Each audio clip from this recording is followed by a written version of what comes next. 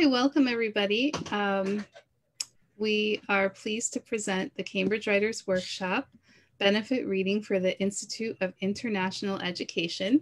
And I'm here with some amazing writers. Um, we wanted to support international students because they are going through a particularly hard time um, right now in the US. Um, many uh, institutions are having trouble with um, student visas, with the new policies. Um, and of course, the global pandemic is also very hard on international students. Um, so we are supporting the Institute of International Education. So please click on that donate link. It's in the event um, and it's also in the description here. And uh, we would really appreciate it if you could take a moment to make a donation there. Um, IIE's mission is to help people and organizations leverage the power of international education to thrive in today's interconnected world. They believe that when education transcends borders, it opens minds, enabling people to go beyond building connections to solve problems together. They say our vision is a peaceful, equitable world enriched by the international exchange of ideas and greater understanding between people and cultures. So we're pleased to support them. This has been a series that we started in May, and we've supported some other causes, including Black Lives Matter uh, by supporting Black Visions Collective last month, and also COVID 19 by supporting the Boston Resiliency Fund in May. So, um, without further ado, let's start our reading. Okay. So it's my pleasure to introduce the first reader. Diana Norma Szokolyai is the Executive Artistic Director of the Cambridge Writers Workshop and co-founder of Chagall Performance Art Collaborative. Her books are Credo, an anthology of manifestos and source book for creative writing, Parallel Sparrows, and Roses in the Snow. Her poetry manuscript, Milk and Water, was a finalist for Hunger Mountain's 2020 May Day Mountain Chapbook Series. Her poetry was also shortlisted for the 2018 Bridport Prize and received honorable mention in the 87th Annual Writers Digest competition. Her work has been published in Mervox Quarterly, Vita, Quail Bell Magazine, the Boston Globe, Luna Luna magazine, and has been anthologized in other countries. Contemporary poets rewiring history, teachers as writers, and an international German anthology of Roma and Sinti writers. Her poetry music collaborations have hit the Creative Commons Hot 100 list and have been featured on WFMU. In addition to all this, she is the curator for this evening's event. So please put together a warm welcome for Diana. Thank you so much. Um, it's an honor to read with all the poets and writers here on the um, call, and I can't wait to introduce them all to you. I'm just going to read one piece, and it's actually a piece of creative nonfiction called Walnuts. Walnuts, Dio, my grandmother Mamushka lives by the seasons. At the end of summer, she said over the phone that she would leave the River Körös by the end of the month, but that she would return in October in time for the harvest. She harvests walnuts, dio, the walnut tree, dio fa, that my grandfather Papushka planted, the source of the very dio that sits in my pantry. In my pantry, in my house by the sea. The deal that I grind and mix with sugar and put on my palacsinta, thin Hungarian crepes. The deal that my spouse, Danishke, puts on his salad and declares so flavorful. The deal that I always save a few of because I don't want to be out of them. Thus, a small portion goes stale in the bag and then just sits there, I don't throw them out until Mamushka brings a new batch the next year, many months after she has harvested the dio. after carrying them home on the train that snakes past the endless sunflower fields, after wrapping them in cloth and storing them in her pantry in the cozy cottage that Papushka built her by the river. Then, about a month and a half after Christmas, Mamushka takes the dio out of her pantry. She puts them in resealable sandwich bags, rolling them up in her clothes that she puts in her suitcase that she brings across the ocean brings to me. She gives the gifts of the Dio to me, and I put them in my pantry. I only eat some, never all. This is how our pantries are altars. I don't have any ashes of Papushka, yet I have the seeds of the tree that he planted. I have memories of him stopping on our walks, picking up Dio and giving them to me, stooping down with a smile, opening his palm to reveal a single wondrous walnut. Cracking it open, I would half expect to find a baby fairy inside, like those embroidered Hungarian baby doll ornaments crafted into a walnut cradle that would hang from the tree at Christmas. Mamushka and I repeat the ritual of this gifting each year. This is how we honor him. This is how he honors us. The Dio continues to nourish and ground Mamushka. The walnuts are always constant, always there to harvest. They always show up. They're always steady. She can depend on them. When Papushka planted this walnut tree, he meant it to be rooted firmly, faithfully bearing fruit each fall. But did he foresee that she would continue the annual harvest in his absence for so long? for over 25 years after his passing.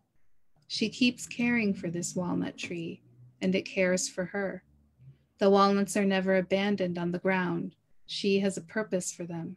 She carefully plans when she travels back from the country cottage each year, always after the walnut harvest. I keep receiving the deal. God, let me churn out even half the nourishment Mamushka churns out of the earth and gives to others. I will be grateful. Thank you. Okay, so it is my pleasure to introduce our next reader.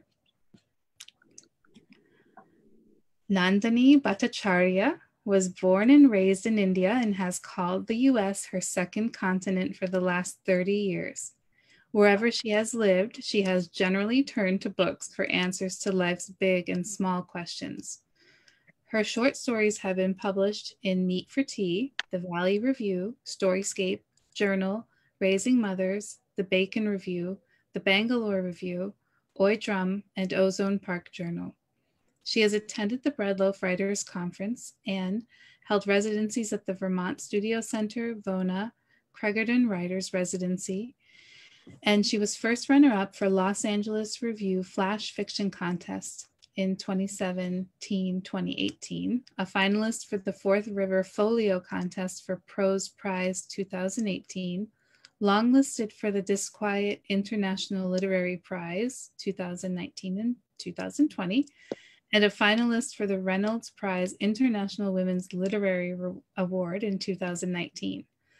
Love's Garden is her first novel. She is currently working on a second novel about love, racism, xenophobia, and other mysteries, titled Homeland Blues. She lives outside Houston with her family and two marmalade cats. And I had the pleasure to meet Nandini on one of the Cambridge Writers workshop retreats that she came on in Paris, where she partially workshopped uh, this book that she's coming out with. Please do check out her new book.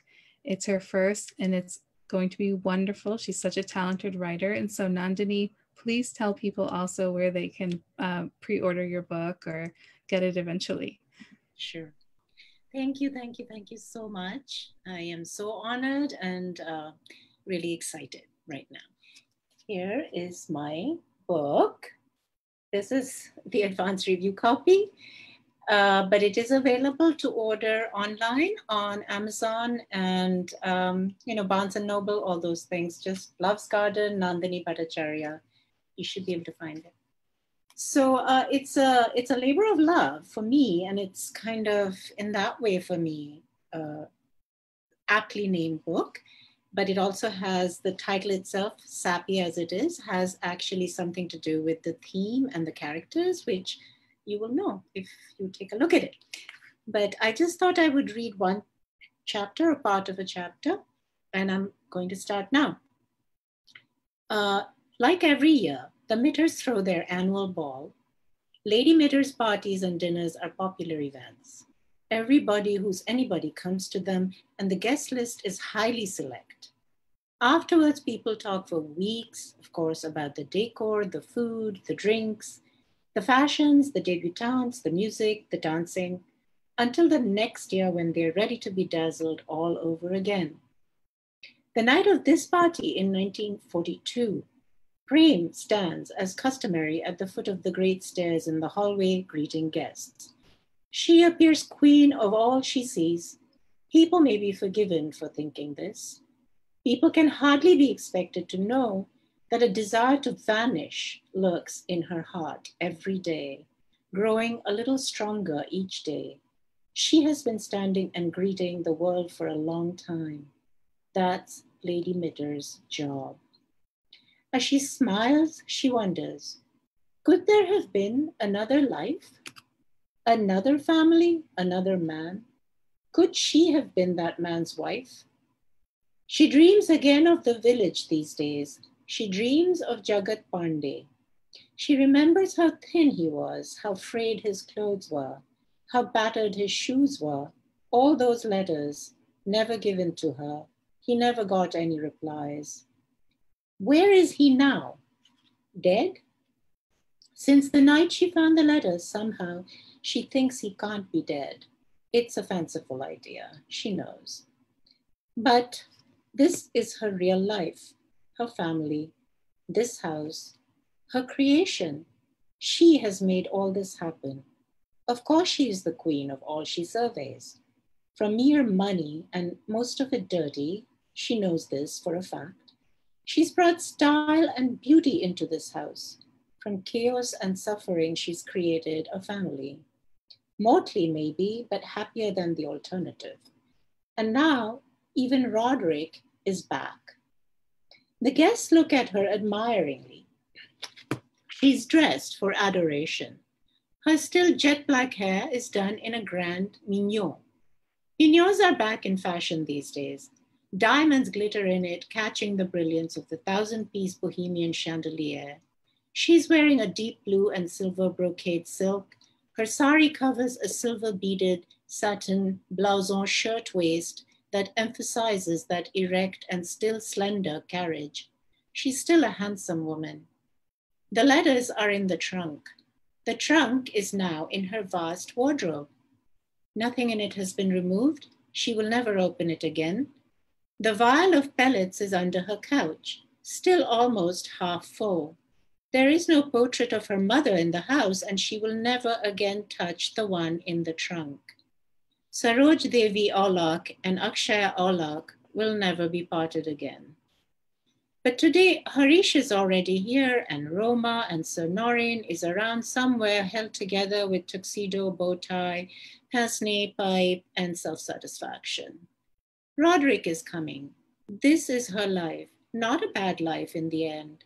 She has found love and loved in unlikely places. Oh, oh, again and again. Everyone is waiting tonight for Roderick, the uncrowned prince of fairy tales in wartime Calcutta. Since Lady Sinha's party, he's flown a record number of times more and chased the Japanese away from Calcutta many times. Prem smiles, momentarily imagining the things people will begin to say when he arrives. A ripple will pass through the room. The swashbuckling Roderick Hartfield himself, Sir, Sergeant Hartfield, the legendary slayer of the Japanese bombers incongruously called Sally, Night Beaufighter. Such grand names they've given him, each one more than well deserved. Most everyone else of consequence has, or, has been announced, greeted, and discreetly crossed off the guest list by the professional staff hired for the party. Prem decides to give herself a short reprieve in her private parlor. She's been trying to be very good of late, cutting the pellets into quarters or smaller pieces um, until Roderick arrives. Walking past Sir Norrin, where he stands with a group of his cronies, she hears the conversation and a few stray words. They slow down her steps. They don't think or feel like us. Why should the best of society be encumbered by the riffraff, the inferior types, and their endless bad tendencies? This is the Honorable Mr. Lister, one of the eminent medical men of Calcutta, who's just been recognized and distinguished by the crown.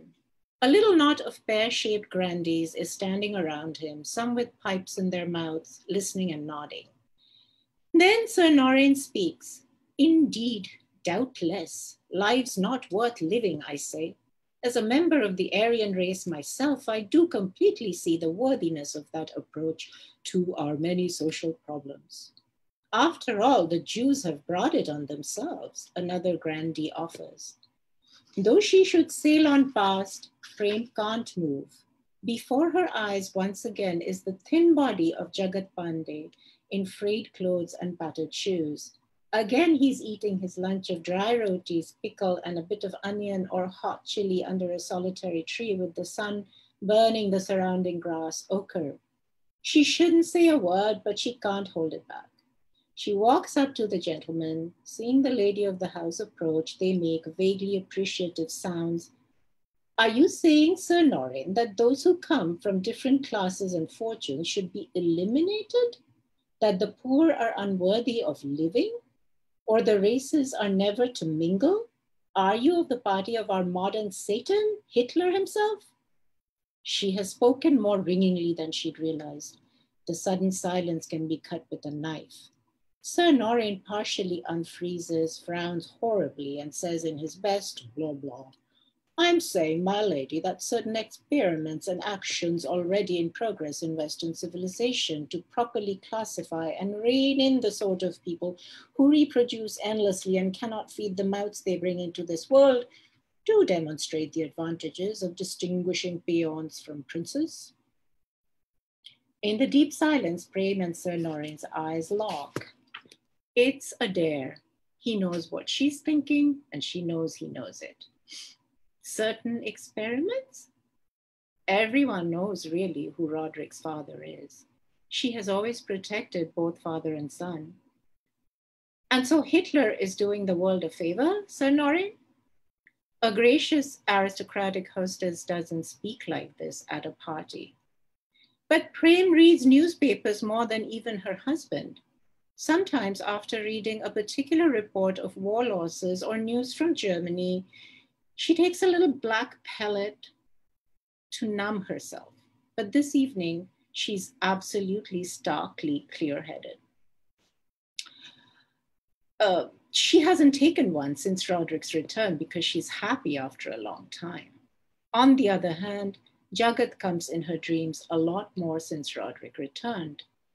Dead or alive, he comes. Well, he'd said, forever. Prem finds herself trembling. Someone puts their arm around her. It's Harish. He speaks to her gently. Come, mother, let me get you a glass of champagne. The belle of the ball shouldn't be standing with her hands empty, right, everyone? Some cheer, and the wall of silence crashes down. No sign of Roderick yet. It is eight o'clock in the evening, and the last light is fading outside. The land and greenery wrapping Alipur like a soft cashmere shawl is darkening quickly into a stony jade. Christmas is only a few weeks away. All over central Calcutta, especially around the military airspaces, near Chowringhee and Park Street, lights blaze or twinkle all night. White and black men play jazz into the dark eastern night. Sometimes a raucous strapping woman belts out songs about being blue and in love. Customers stagger in and out, GIs and British boys, sometimes arm in arm, sometimes ready to cut each other's throat. The immense Christmas tree at Whiteaway and Laidlaw's soothes many a young white boy, still wet behind the ears, who has left his heart behind in Texas, or Montana or Yorkshire. But what is that? Suddenly, noise as though from another end of the city ripples past and around the house. People rush to the large windows to look up and see unmistakably that a silent flotilla of aircraft has darkened the sky. The band has stopped and there's shouting in the street. Japani, Japani, Japani coming. Harish huffs and puffs across the hallway to find the household gathered around the great dining table. Someone tuning in vain the radio. The Japanese, despite Chevalier Hartfield's valor and courage, have unimaginably come back to bomb Calcutta weeks before Christmas. Can this really happen? Of course it can. That's why Roderick is not here. Thank you. Great job, Nandini. Thank you. And people are watching um, on Facebook Live too. So thank you for tuning in. Thank you for watching. Um, I, it is my pleasure to introduce our next uh, reader, Stephen Aubrey. He is a Brooklyn based um, writer and theater maker. His fiction and essays have appeared in Craft Literary, Electric Literature, Publishing Genius, and the Brooklyn Review. As a co founder and co artistic director of the Assembly Theater, Company. His plays have been produced at the New Ohio Theater, the Living Theater, the Ontological Hysteric Theater, the Flea Theater, the Collapsible Hole, and the Edinburgh Fringe Festival, where his original play, We Can't Reach You, Hartford, was nominated for prestigious for the prestigious Fringe First Award. He is an instructor of English at Brooklyn College and he has also been an instructor at Cambridge Writers Workshop, which is um, where many of our community members may know him from. And uh, we are really pleased to welcome him. Please welcome Stephen Aubrey. Thank you, Norma. Uh, thank you for that introduction. Uh, I'm really happy to be here tonight supporting the Institute of International Education uh, as someone who teaches a lot of international students at Brooklyn College, uh, this is absolutely a cause that is very close to my heart and to the concerns of a lot of my students who I dearly love and hope the best for this coming fall. Uh, what I'm going to be reading tonight is a story I have written called Coyote the Younger. In all those moments after he'd lit the fuse, but before the rocket powered roller skates propelled him across the yellow desert at sublimely subsonic speeds. In all those moments, what came most vividly to Coyote the Younger were the memories of his father, Coyote the Elder. How his father had crept across an inky horizon quietly and carefully, instinctively how power and grace were inscribed upon his long muzzle, how he held the roadrunner's neck almost tenderly under his paw, how the roadrunner would stare back at him, its eyes filled with something almost like love. Coyote the Elder had been a hunter, the last and perhaps the greatest of a line that dwindled to an end in Coyote the Younger the son who had forsaken the ways of his fathers, surrendered instinct and the old ways, and traded them in for the blueprints and patents of Acme Corporation. Secrets industrial, not ancestral. As roadsides blurred to meaninglessness, as the unfathomable velocity of his rocket skates peeled at his face, pulling lip from dulling tooth, Coyote the Younger would find himself finally able to think clearly, ensconced in the warm moment before disaster. He would consider the breath of his betrayal of the ways of the coyote, the ways of the Edius Birdius. And for what? A small collection of explosives and improbably backfiring gadgets? But the skates were already strapped to his feet. There was nowhere to go but forward.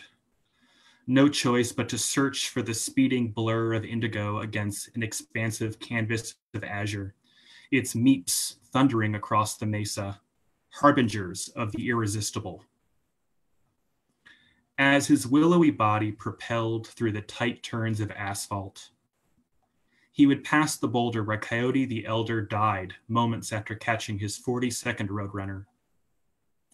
Full of cataracts and shivering with tremor, he had stalked by scent alone. And there, below that butt, was the den where Coyote the Younger had been brought when he was but a whelp. The only time he had met his grandfather, Coyote the Proud, the one said to have caught 67 roadrunners. Though roadrunners were also said to have been far slower and more abundant in those days, days which Coyote the Younger habitually visualized in black and white. Coyote the Younger saw himself in the den again, shivering in the pre dawn wind of the desert, as he stared at his grandfather's sinewy body. The, fragmentar- the fragmentary feeling of a wet nose brushing ag- against his passed through the veil. Growing behind Coyote the Younger was an unbroken path of antecedents. Generations who had relied on nothing except their forelegs, their hind legs, and whatever interjections could fit onto a single wooden sign. Simpler animals, creatures of tradition and ritual, not mail order merchandise. Those who haunted the dust beside the never ending highway that Coyote the Younger flew relentlessly upon, leaving a spiraling trail of smoke in his wake. But then the crest of the Roadrunner would peak over the next knoll, and Coyote the Younger would slide his goggles down from his forehead. His vision would narrow, the periphery fade. Nothing except the distance now. And then there was that moment before he struck the side of the canyon. That moment when the ruffling tail feathers of the Roadrunner would tickle his snout and the odor of his prey's damp sweat would mingle with his own. That moment when Coyote the Younger would close his eyes and reach forward to seize what was his, forgetting about the hairpin, hairpin turn ahead, only opening his eyes quickly enough to see all his momentum about to come to that inevitable nothing.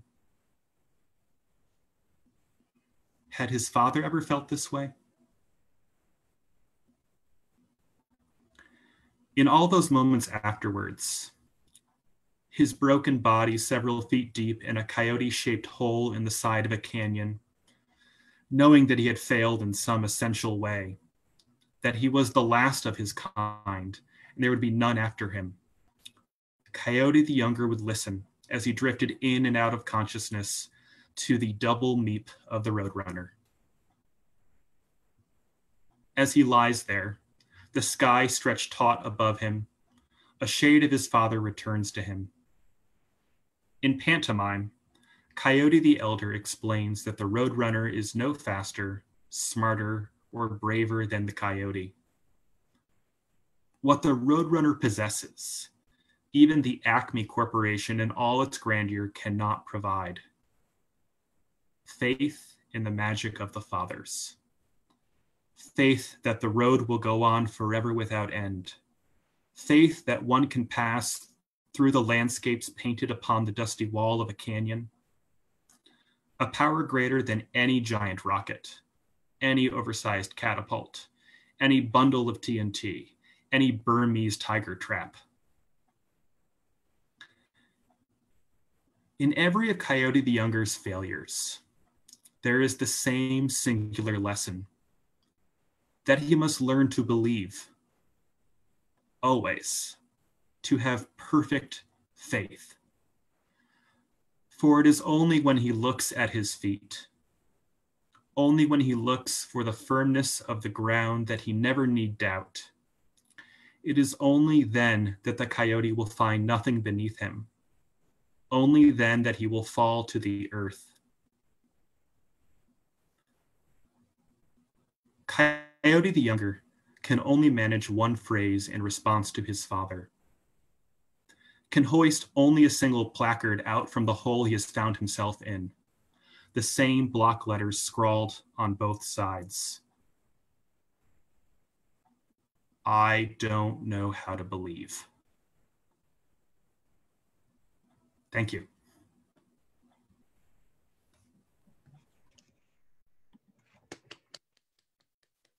Thank you, Steve. That was amazing. So beautiful. Um, it is my pleasure to announce the next reader, Elizabeth Devlin. Elizabeth Devlin is a visual artist, poet, singer, and multi instrumentalist. She is the curator of numerous art, music, and literary events, including the series The Highwaymen NYC, Prose by Any Other, and Token Folk Acoustic. As the founding director of Bessie's, a private artist studio and salon, Devlin hosts art, community, literary, and acoustic music events in Brooklyn. Devlin has toured nationally and internationally for over a decade. An auto harpist and singer songwriter with avant garde folk sensibilities, she defies traditional song structures, weaving small worlds where magic and fantasies collide. Devlin's third full length al- album, Orchid Mantis, released in 2017, received 4.5 out of 5 stars from Impose magazine and is the follow up to the previously released albums For Whom the Angels Named in 2011, Ladybug EP in 2011, and All Are Relative in 2009.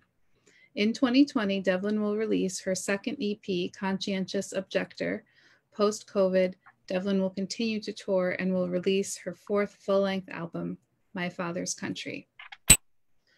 Please welcome my dear friend and brilliant poet and singer songwriter, Elizabeth Devlin. Thank you very much, Norma.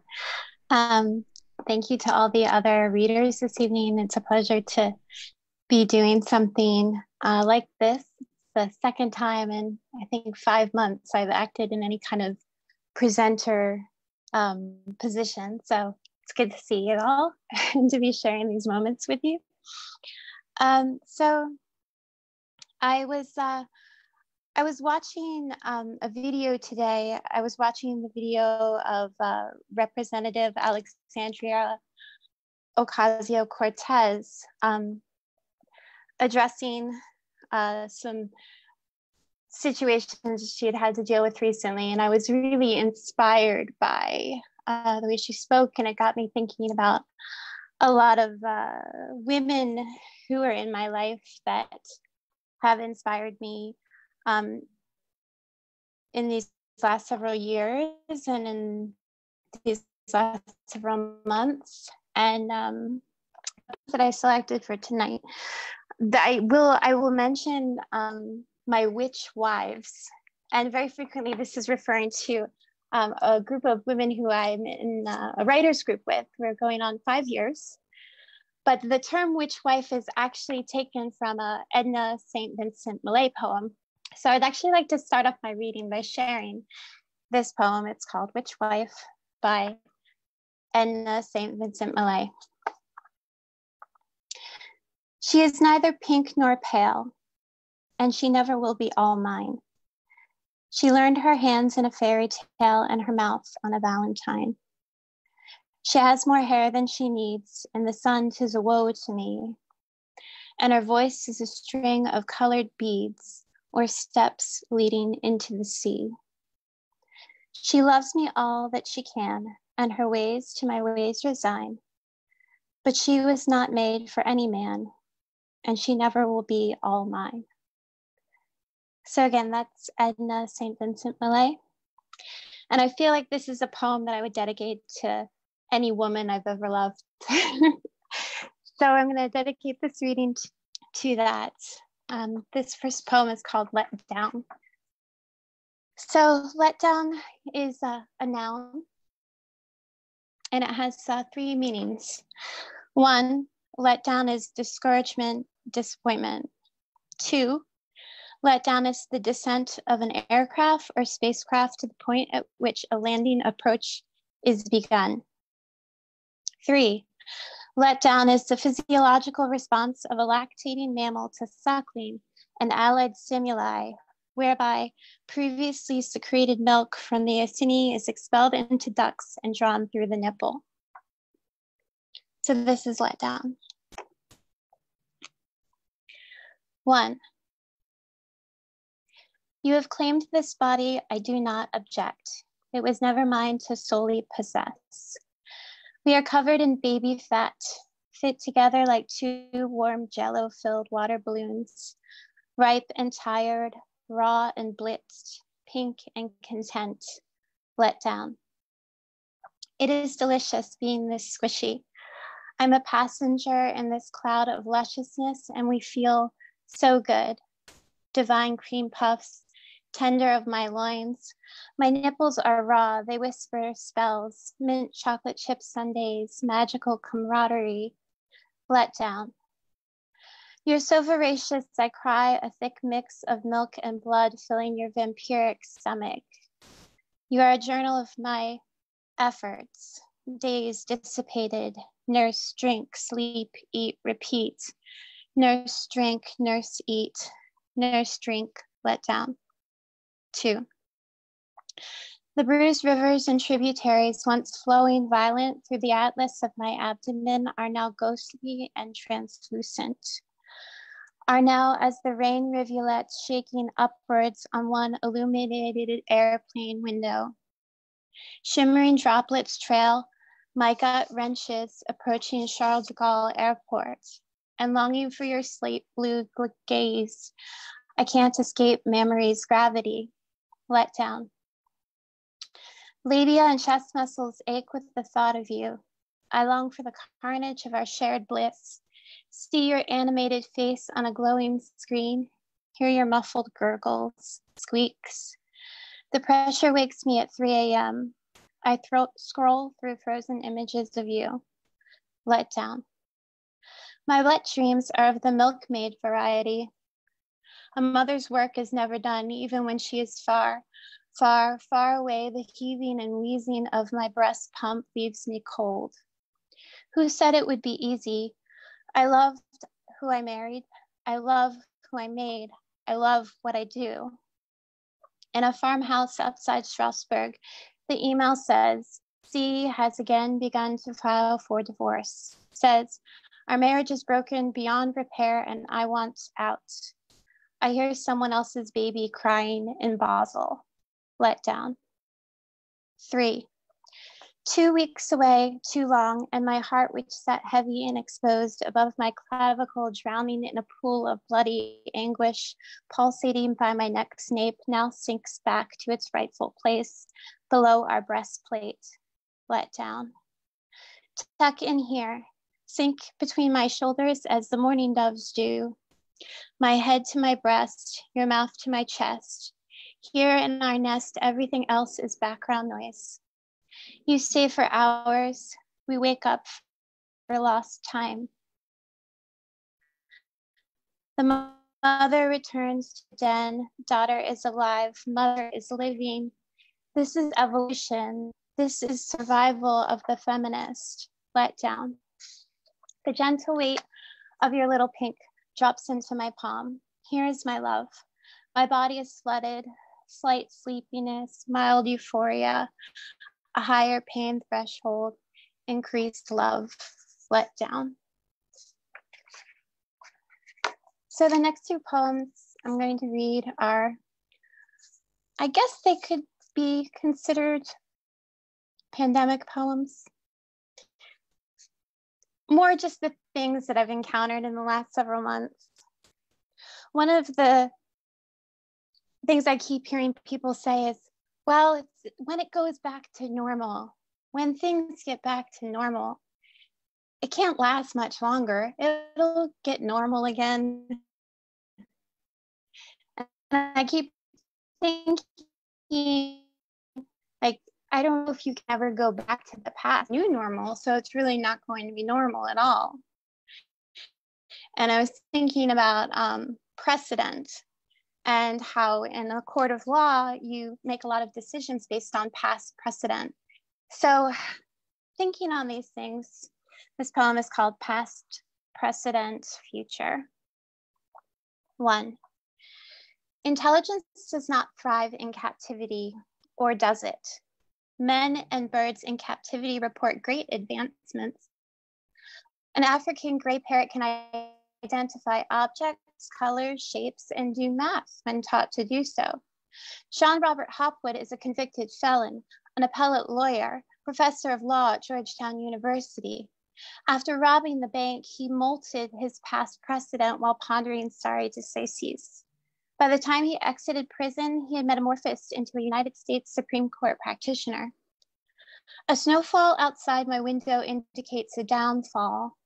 The fatal flaw of the sky is that it is always falling. The hamartia of the aforementioned parrot is it learns too much to live outside the cage. It knows too much of the laws governing men to live beyond them. Dura lex sed lex. That's the harsh reality of being clever. Is ability encoded into DNA or is it a potential prison? It is said genetic markers indicate predispositions to obesity, cancer, addiction, liking chicken, anxiety.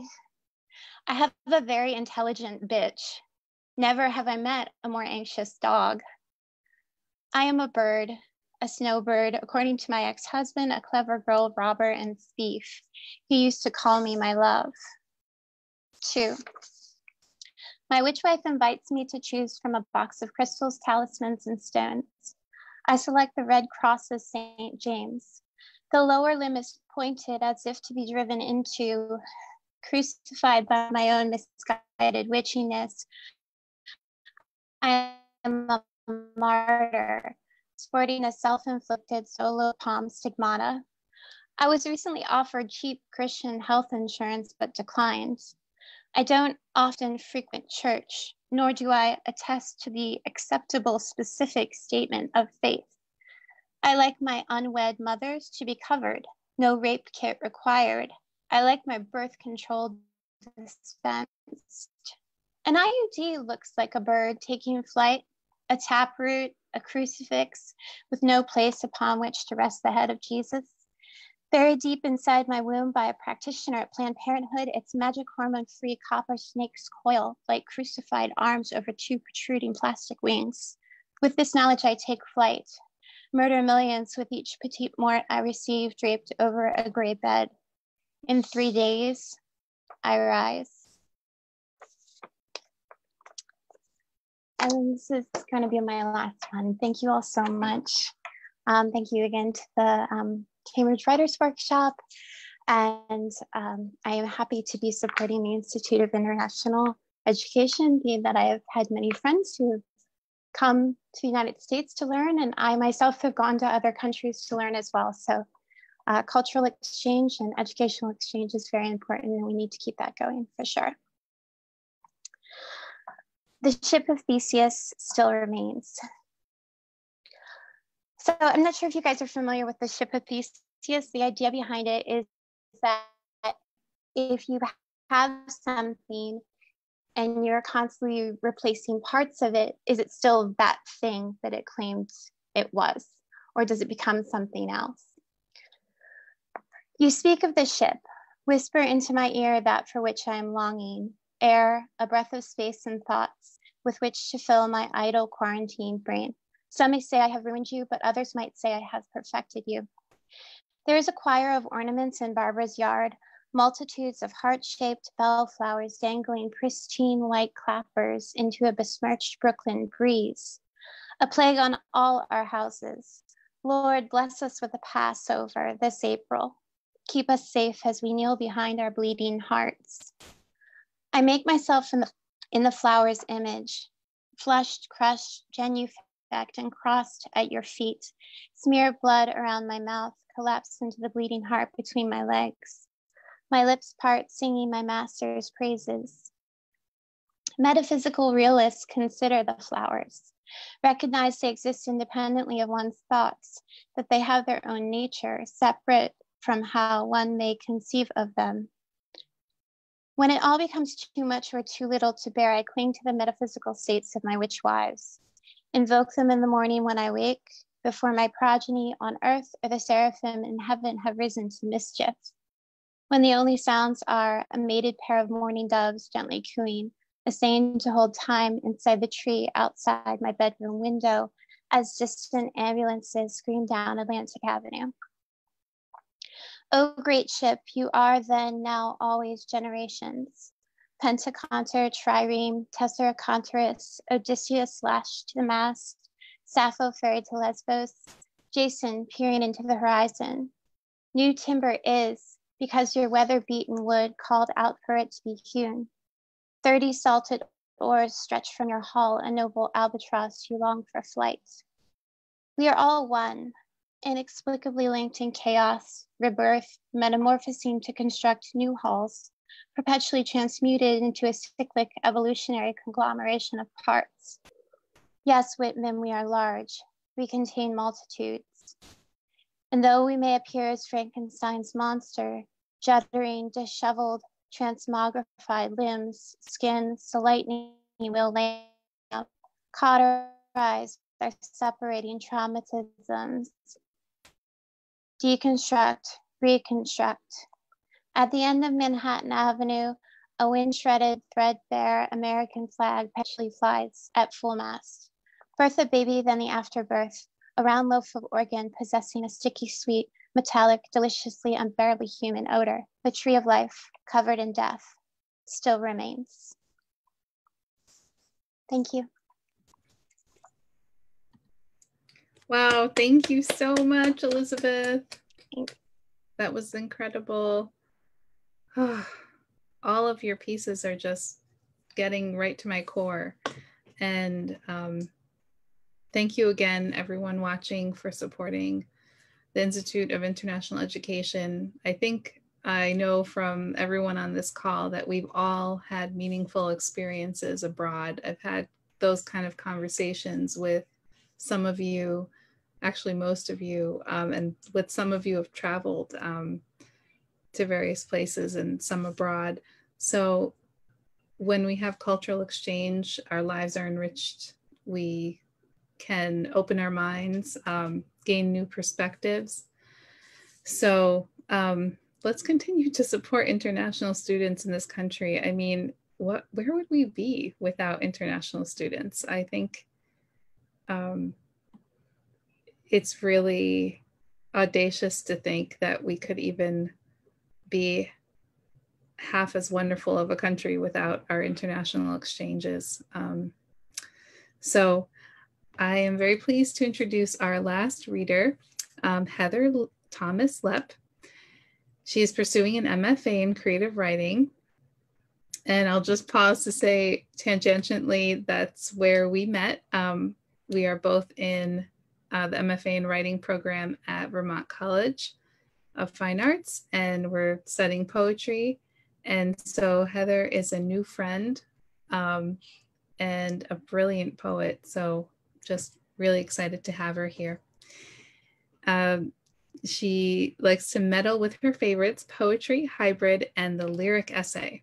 She has worked previous, previously as a journalist, writing profiles on local artists, events, and the music scene, writing songs long before poetry in bands since childhood.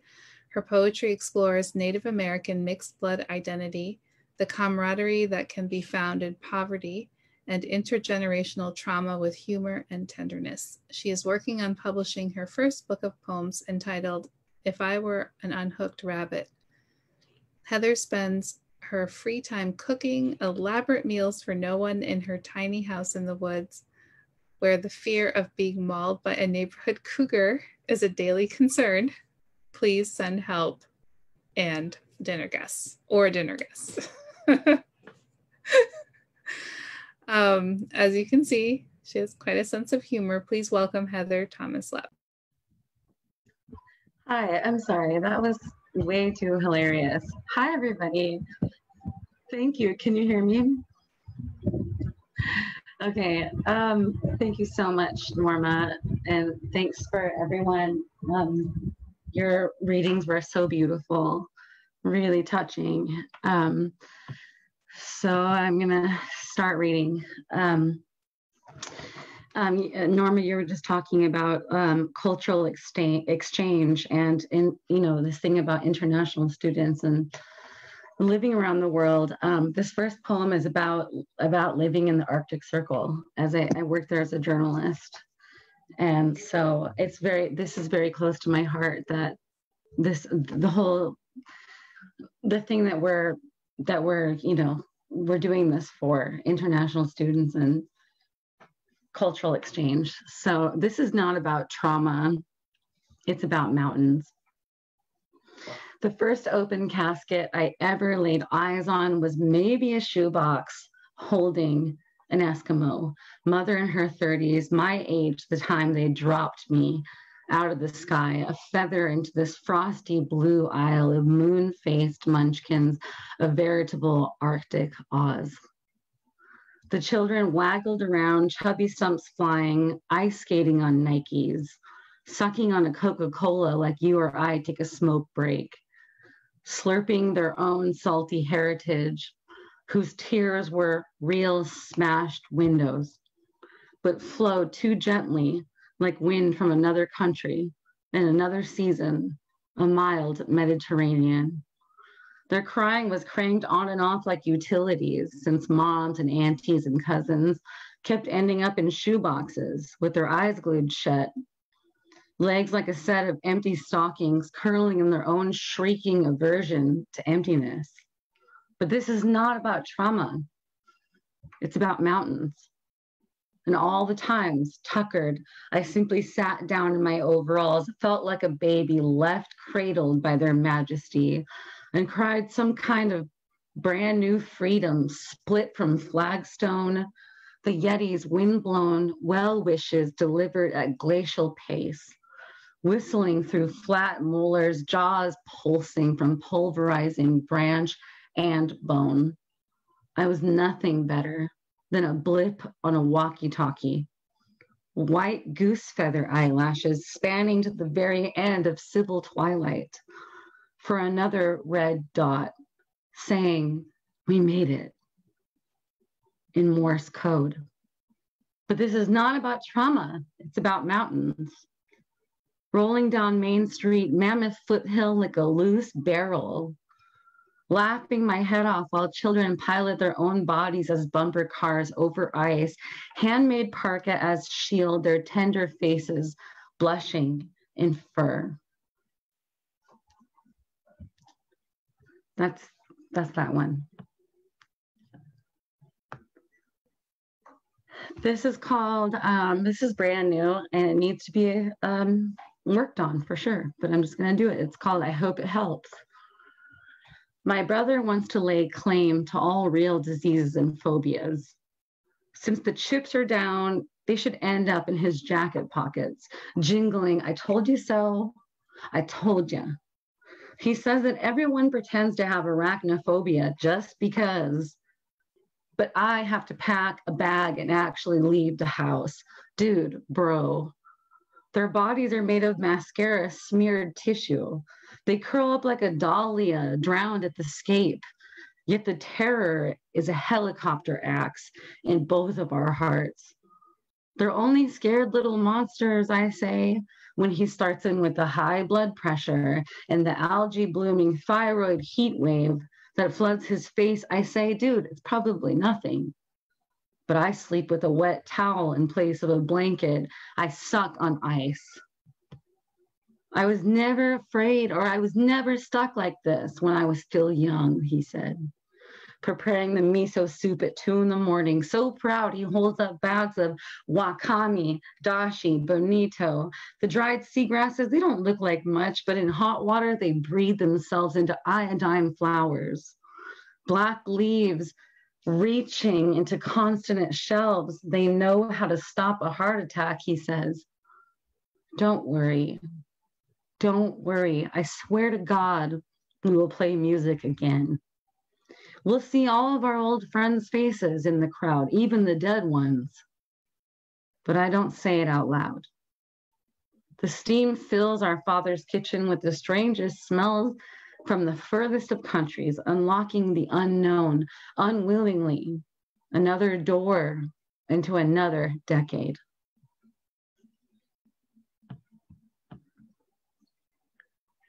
Thank you. Um, so this is another one. It's called Full Stop.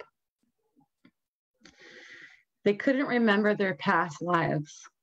Featureless recognition, hand scrabbles hand for a doorknob in darkness. Along with these things, the memory of tennis shoes hanging from a telephone wire, a father's number disconnected, landline telephone, flotsam and ruddy flood, a dead reservation dog shot flat by a BB gun. Poor clothes, poor food, Western family, everything. Nothing new. Chicken nuggets floating in a chicken water stew. Field day had a field day on us. Never ever fever plucks a dodgeball in someone's face. Always our face was the face that was shown. A pair of twin moon pies, big eyes, dog days. Why don't you run, run, run?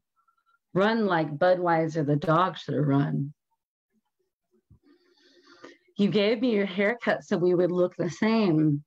That's that pawn shop pedigree, and I shirtless, titless, billet in brocade. Some asshole dressed me up this way.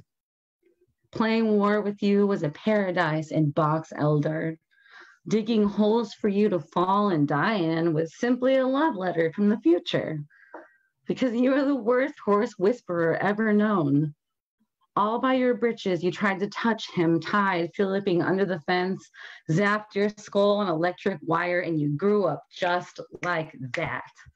Now I am the one who is reaching an animal fog for a friend who does not want me. Sioux City, Iowa, full stop. Santee Reservation, stop once, then play that shit again. I need to make out the words. Video games forgot the willow. Jurassic sized bottle of Woodbridge Alzheimered our footsteps. Distance begot radio silence. I need to know, brother. Are you still breathing?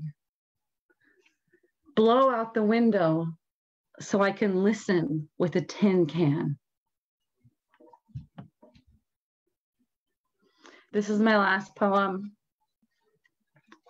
Thank you so much for listening. This is about my Indian mom. It's called Magpies. Women are kind, dirt poor, dancing dervish on chili dog night. We never had two dollars to unfold between us, never two shovels to dig the same hole. But we kitchen gab about the current trends. We bluff and we bluff in bourgeois threats to get our hands on something that'll smooth this horrific transformation into old age, like, I don't know, hair dye. Hair dye. Magpies, we collect we collect paper clips, a divorce earring, an amethyst, a bonsai, which are said to symbolize beauty and restraint while imprisoned in a craftsman when the eviction notice gesticulates with warnings of winter. I'm too young to go gray, I said to my mom. She doesn't buy it. She said, Oh, turn the light on. But can the light be Lark, Juno, Crema, Perpetua, and never Clarendon? Can my head always tilt in half shadow when a computer boy asks my name? And my body be cropped off in bedroom nebula. Just let me be a huge face framed in flowers floating. I produce a glass vial of roller perfume that I found, and her eyes, wheeling obsidian, pass over and smile. She usually wants anything, and she'll even take your junk. She'll tie buckskin to an ear of it. Try it, I say, holding in the air like a joint. She snatches and rolls it delicately over her scars, like little instances of white lightning. Smelling her brown bones, she begins to sob. It smells like my mom. She buckles over and hides her falsies under paper skin claws. It smells like her sheets. It really does. And she holds her hands up flat like she's smoothing the linen. I tell her to keep it, and I wonder what I am going to miss the most. Gravy and fried chicken doesn't really have the same romance of amber and sandalwood, her elegant poverty, reservation, magpie magic. It was not something I could gather up in a drawer or hang from a chain. how this perennial refugee can turn an abandoned blanket into actual bird wings for fancy dancing, a plastic clip into an artifact from an archaeological dig, a scrap of black lace into an Egyptian arm cliff, a Cerberus to protect the house into a guinea pig, an actual rose that fell from the neighbor's yard into a rose that never fell at all a rose that has risen to marry a turkey feather, and a sorceress who joined them together. How clever she did with a safety pin. Thank you. Wow, thank you. That was amazing, Heather. Thank you so much. Um, I'm just honored to be here with all of you. And um, thank you for coming, those of you who are watching on Facebook Live. Um, we loved reading your comments. This will be up on our pages. So um, thank you so much. And everyone on the call, I'm going to stop the live stream, but if you want to stay on and say hi to everyone, we're going to hang out for a little longer. So bye, everyone.